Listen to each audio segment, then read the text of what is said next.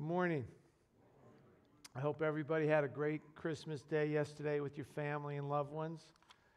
Um, I just want to thank you too on behalf of everybody. Just uh, we had a great end of the month of November and all December. Just so much ministry going on, and so many people involved in it. It was awesome.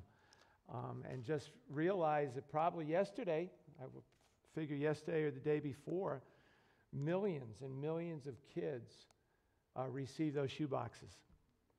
And if you saw the big cartons, those held about 15 or 16 shoe boxes.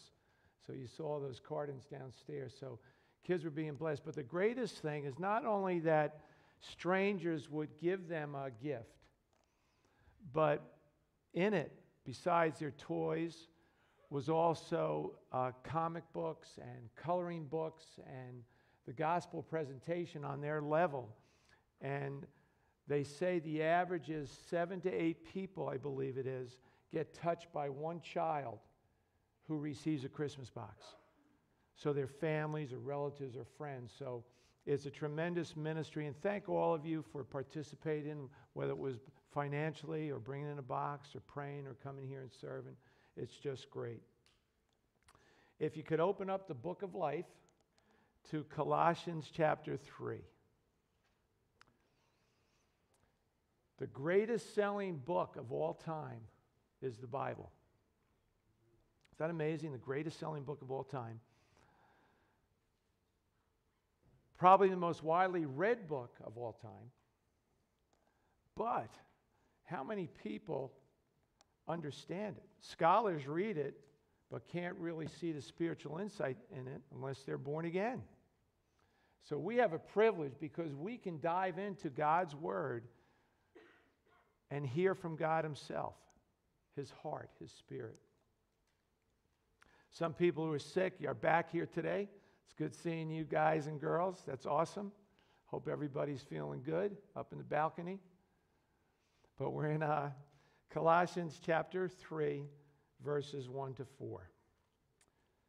If then you were raised with Christ, seek those things which are above, where Christ is sitting at the right hand of God. Set your mind on things above, not on things on the earth. For you died, and your life is hidden with Christ in God.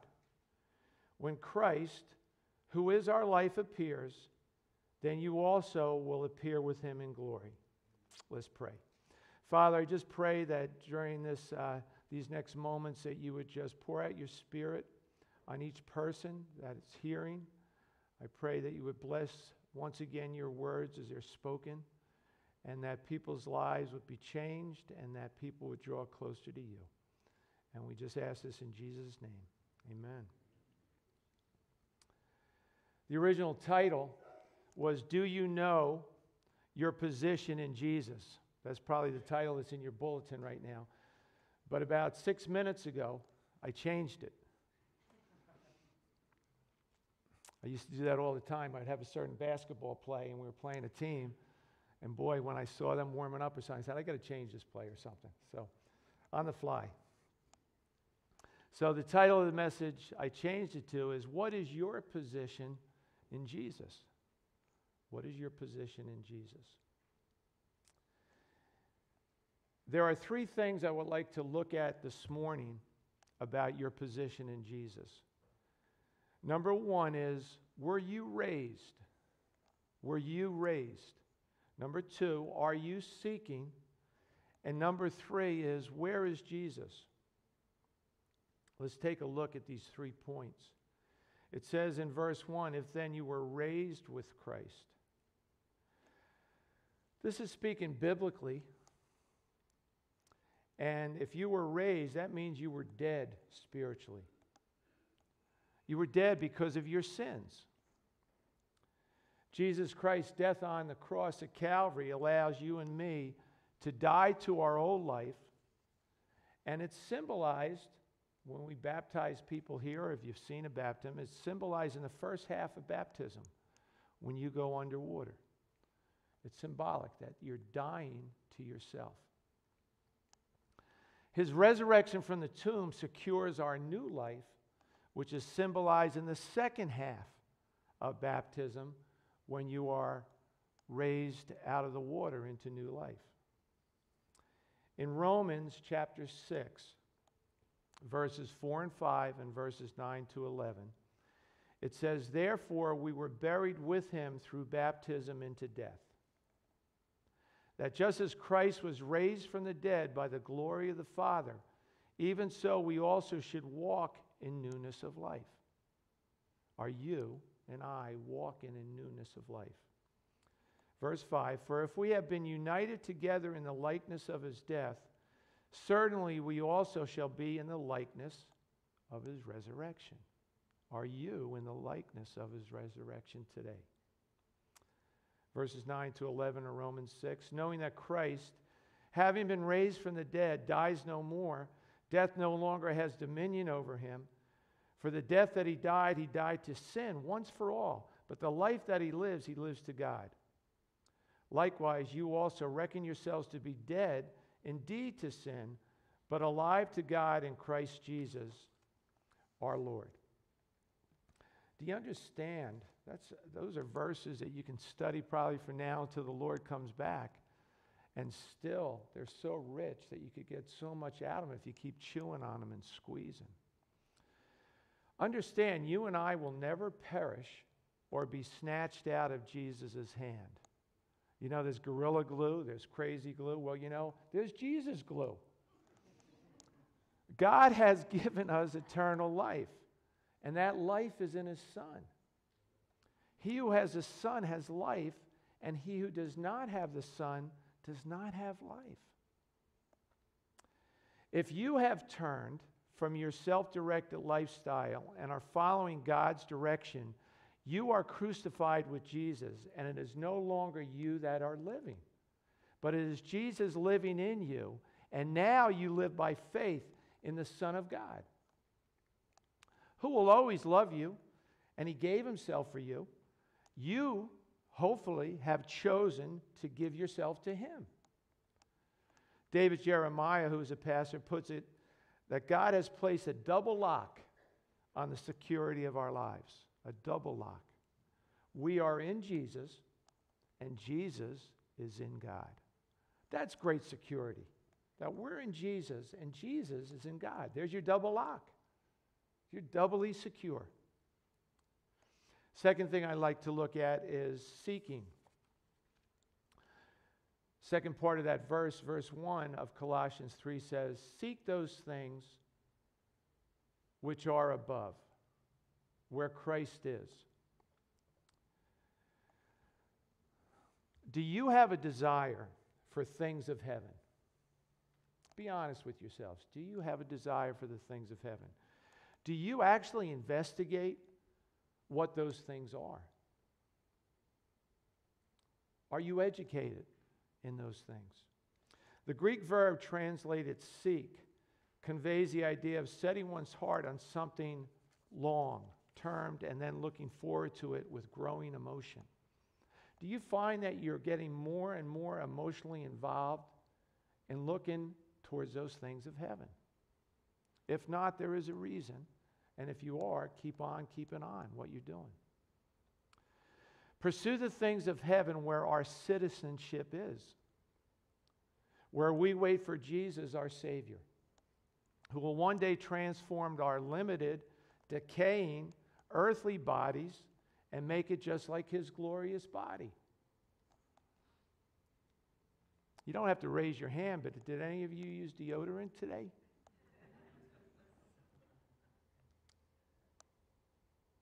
Tomorrow, when you wake up, go like that.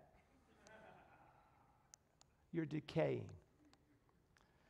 Don't seek after earthly things which cloud our view of heavenly things, and our temporary pleasures that fade away, invest in eternal things. You know what they are? God, His Word, and people. Those are eternal things, not temporary things. Wrap yourselves in the arms of Jesus. Let Him wrap his arms around you in a spiritual sense. Remember what happened to all the wrappings yesterday that were torn apart and thrown away, right? Jesus' wrap is never thrown away. Never.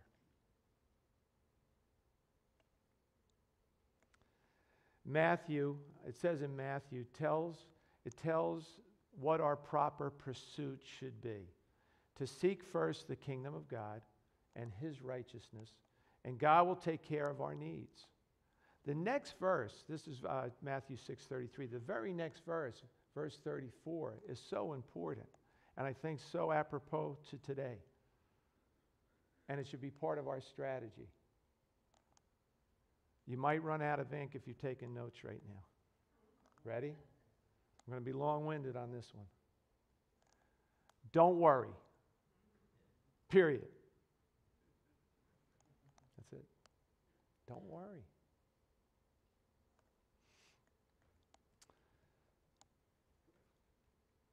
The second verse of Colossians 1 says, to set our mind on the things above, not on earthly things. Is your will and emotions on the reality of heaven? Or is your will and emotions tied up to the things that are on this earth that cause you stress and worry? Is that what is motivating you, or are you concerned with the earthly things? It's very important to see where you put your heart. Matthew 6:21 says where your treasure is that's where your heart will be also.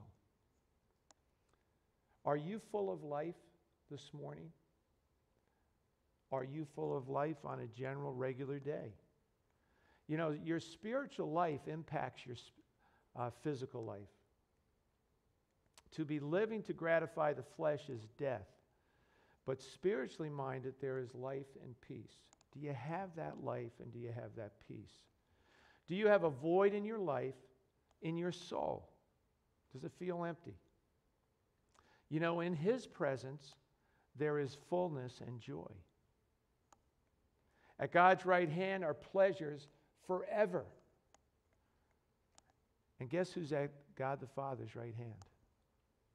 Jesus, his Son, who is our portion forever.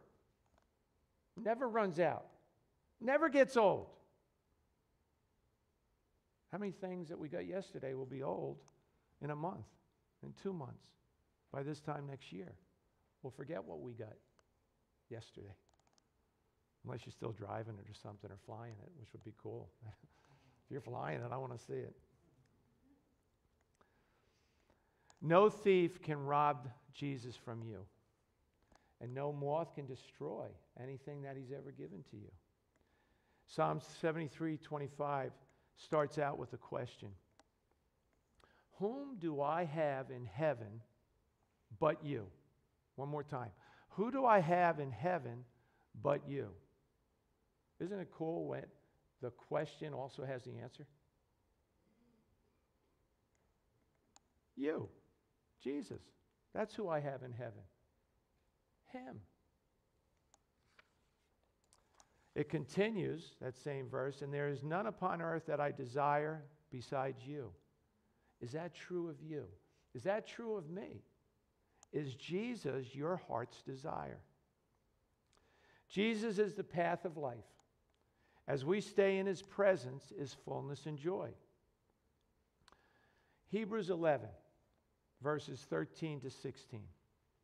Hebrews is the hall of faith. You know, we have on this planet the hall of fame for all different sports. Great athletes, men and women in the hall of faith, whether it be basketball, football, baseball, whatever, hockey, whatever. Doesn't matter. They're in the hall of fame. Well, there's a hall of faith, and in, that's in Hebrews 11 if you ever want to read it. The first 12 verses mention a lot of the people in the hall of faith. And you would be amazed at some of those people. You might be able to identify with some of those people.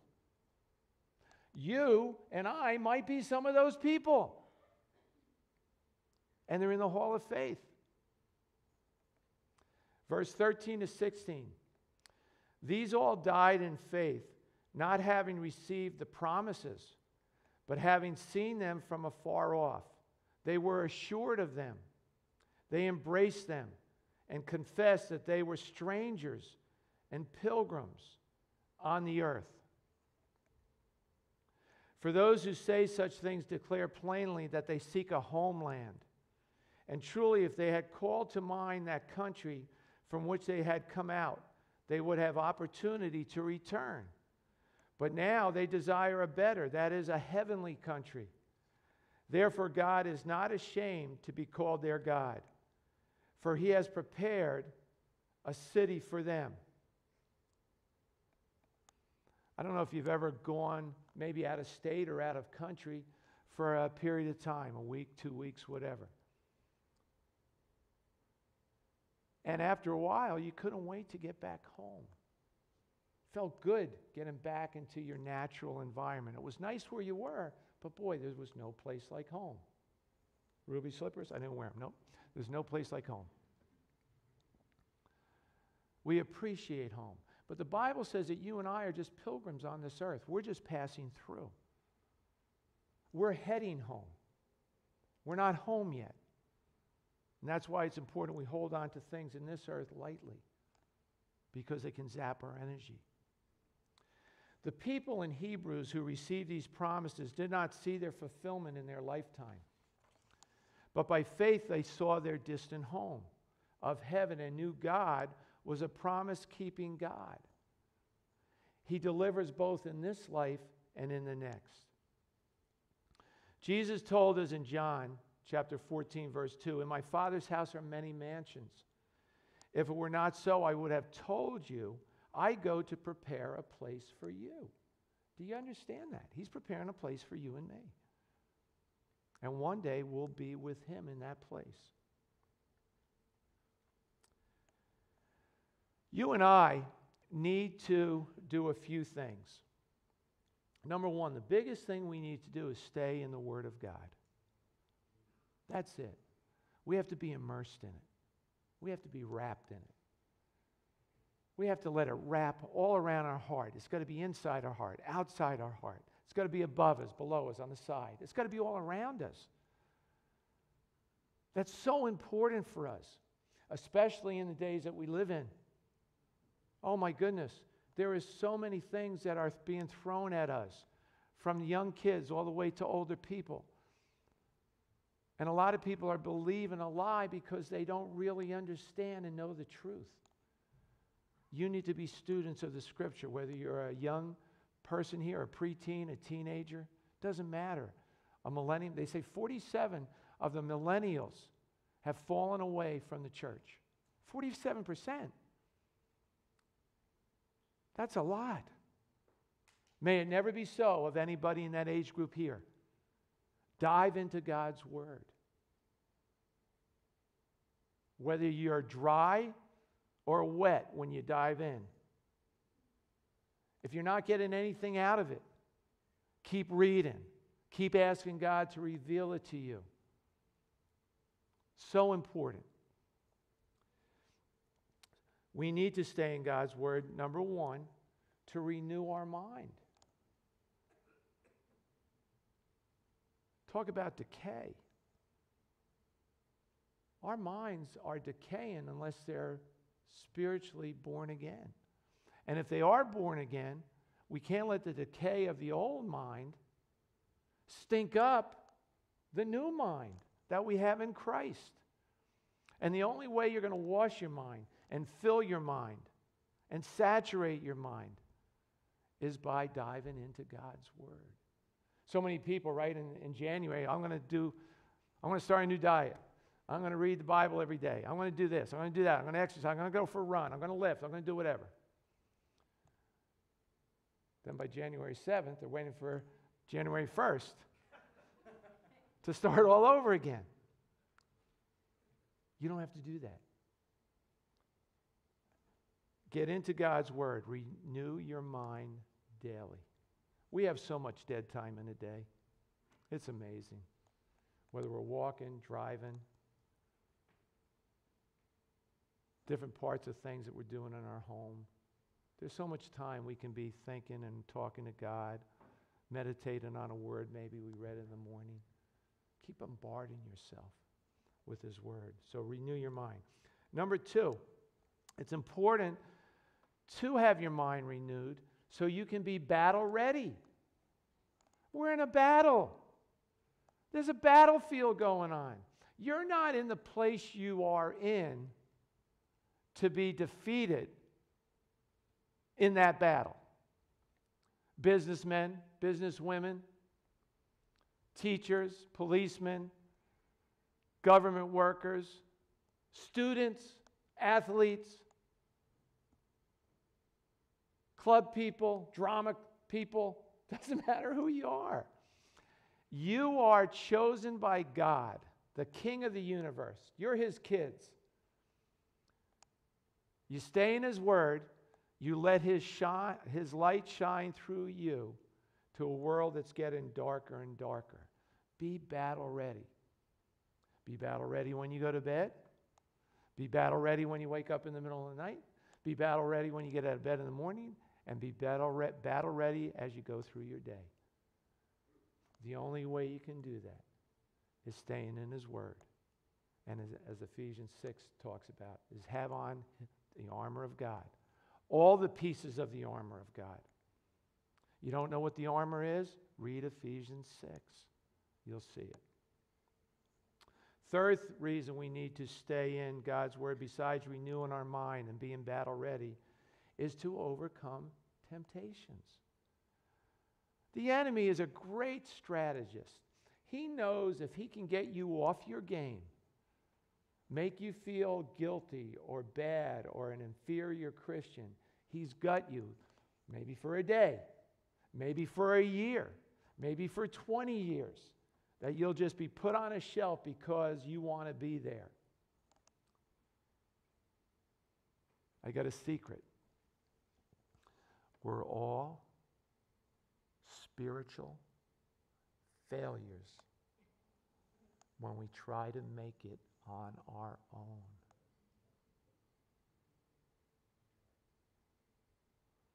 If I dive into a swimming pool without water in it, whew, I'm in trouble. But boy, if there's water in that swimming pool when I dive in, I'm going to get all wet. The water of God's Word. Immerse yourself in it. Don't stick your little toe in it. Don't stick your finger in it. Dive in. Let it cover you. Immerse yourself in God's Word to overcome temptations. The last point in that first verse of, Col- of Colossians 3 Where is Jesus? After Jesus offered himself as a sacrifice for sins forever, he sat down at the right hand of his Father, making intercession for us, and one day he will be coming in the clouds. Now, be, we talked about this before. To be great if we go, all go up in the clouds together. Huh, my vertical jump will never have been that high. That would be awesome. Or when I fall asleep because this will die. But my spirit, my soul, will live forever, waiting for that new body that will never be destroyed.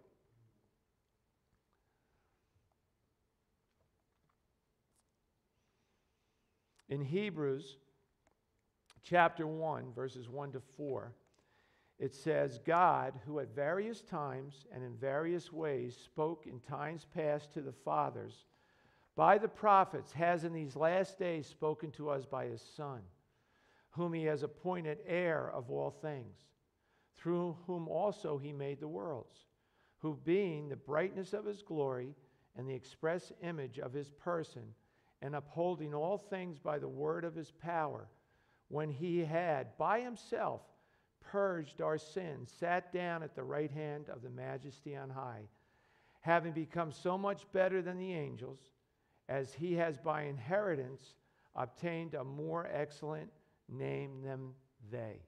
That at the name of Jesus, one day every knee will bow and every tongue will confess. And that if you can confess with your mouth that Jesus is Lord and believe in your heart that God has raised him from the dead, you're saved. You're in.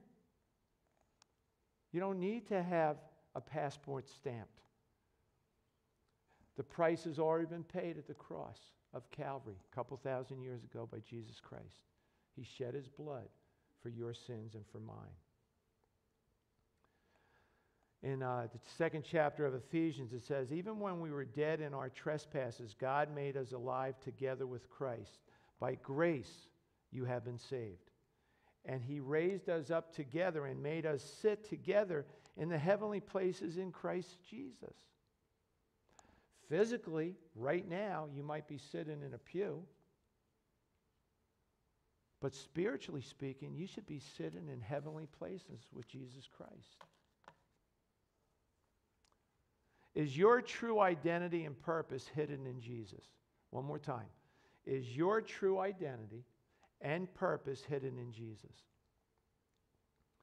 Do people outside of Jesus Christ, those who aren't believers, understand your motivation and goals? Probably not, right? They think you're whacked. They think something's wrong with you. You must be born again to have heavenly vision. You cannot have heavenly vision unless you're born again. Princeton's right down the road. Geniuses. Oh my goodness. Some of those guys, right, can do the Rubik's Cubes in like 10 seconds. I threw it away. I threw mine away a long time ago. Got a headache. but they don't have spiritual vision. How come? Because they haven't been born again. They haven't been given a new identity. They don't they're they're not a new creature in Christ. You must be born again to be raised up. You must be born again to be able to seek. And you must be born again to understand where Jesus Christ is. Jesus sent his Holy Spirit. Remember, he said that when he was leaving? Don't fear. I'm going to send you a helper, a comforter to go alongside you, the paraclete, which means to travel along with you. He sent his Holy Spirit to bring us into the presence of the Father and the Son. The Holy Spirit resides in every single believer. Do you know your position? Are you ready to be raised, to seek, to know? Back in the beginning, if then you were raised with Christ, those, those four short verses, it's a continual thing to be continually raised, to be continually sitting, to be continually seeking. It's not just a one time thing, it's something that you pursue th- throughout your lifetime. And the Holy Spirit brings you there. He matures you as you continue to grow in the grace and knowledge of Jesus. Come to Jesus. He took your place on the cross so you could take a place with Him in heaven. Let's pray.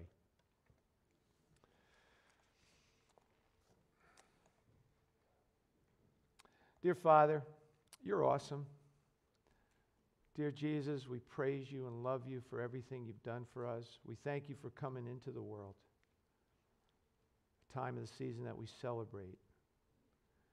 Dear Holy Spirit, we thank you for living inside every believer.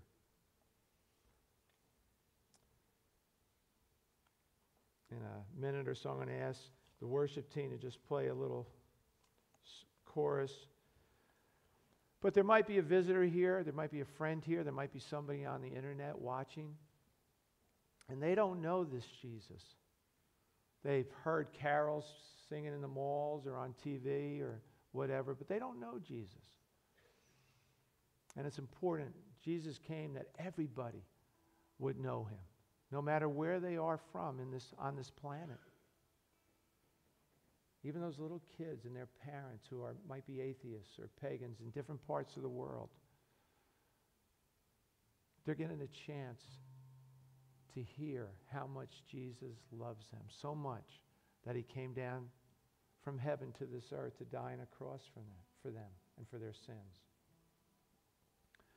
First thing you have to do if you're a visitor here or listening is to realize that you're a sinner, just like me.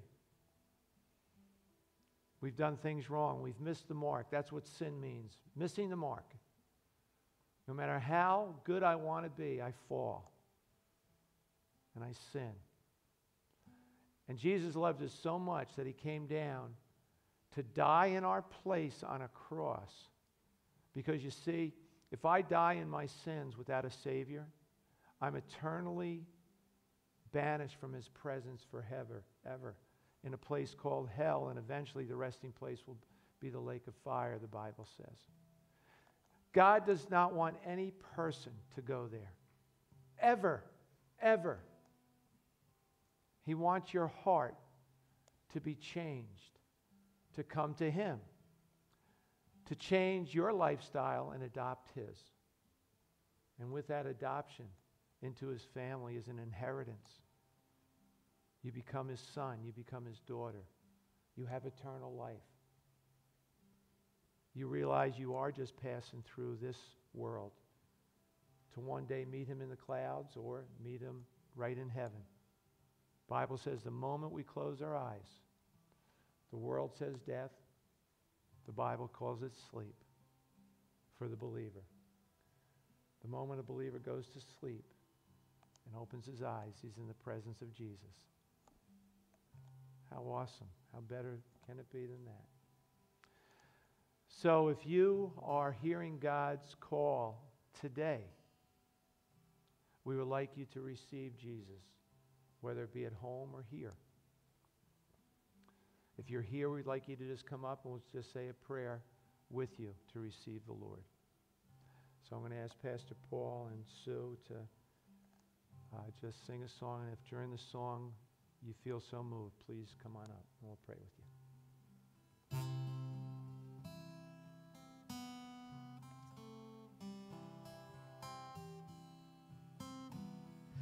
Family hiding from the storm found no place at the keeper's door. It was for this a child was born to save the world so cold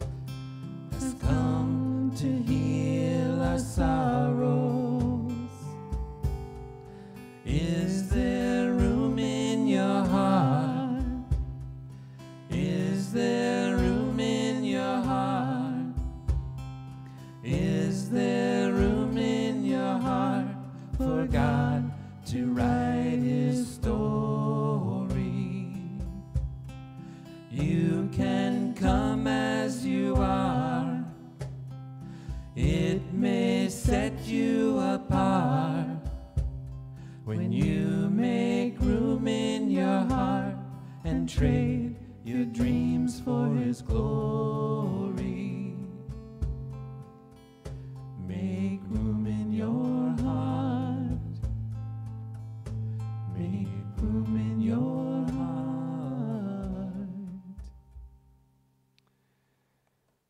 Dear Father, if there is anyone here or at home that would like to receive you as their Savior and make room in their heart, just say this prayer Dear Jesus, I know that I am a sinner.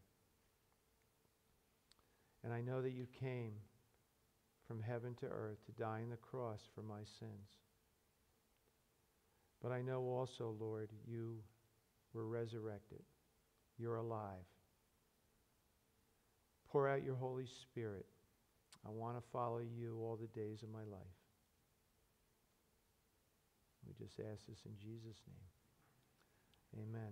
You know, you, if you're here today or uh, watching, you, you're a believer, if you are a believer. The verses I read today talked about you died and your life is hidden with Christ in God. There's going to be a day that everything's going to be revealed. We know we have salvation. We know we have God's Holy Spirit. We know we're not the person we used to be and that God is still working on us. But one day when Jesus Christ appears, then you're also going to appear with him in glory. You'll be in that glory, and all those things that God has promised us will be revealed. They won't be hidden anymore. Today, just realize how much God loves you, how much He cares for every single one of you. And now let's just go out praising Him, right, guys? Amen. Please stand.